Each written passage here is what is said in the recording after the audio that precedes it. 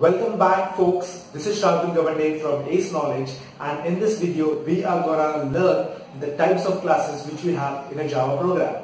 So let's start with our concept.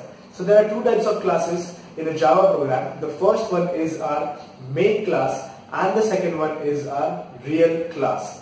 So what are this exactly main and real class? So let's talk about the real class first. So you can have n number of real classes in a single Java program. So, now what does this real class consist of?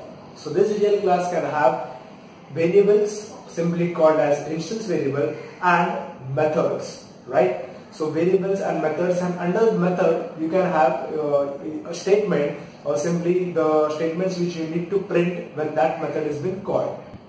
Just understand that real class will consist of variables and methods the same as, a, as any class may have, right? Talking about the main class now. So main class, so we can have only one main class in a Java program. So now the question arises, why only one main class? Because whenever you execute your Java code or you run your Java code, who runs a Java code? It is the JVM, right? So JVM will always look for your main class and under that main class we will have main method. So here you can see we have a main class and then we have main method which is public static void main.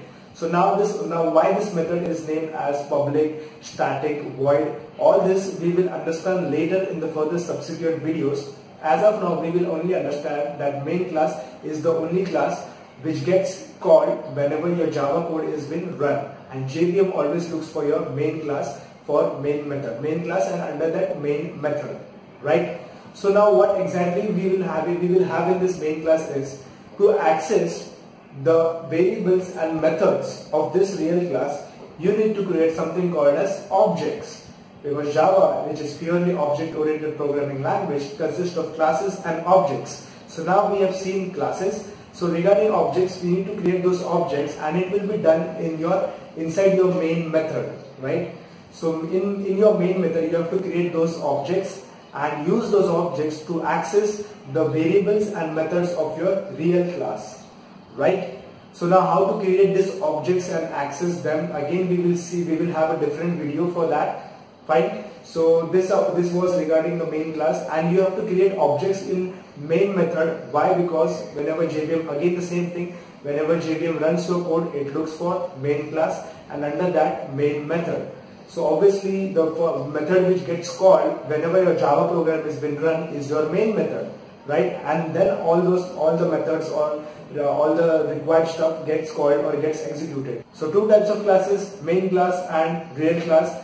In Java program we have only one main class, not more than one main class and we can have real classes and number of real classes. So one main class and multiple real classes. That's it from this video. Thank you so much for watching and don't forget to subscribe.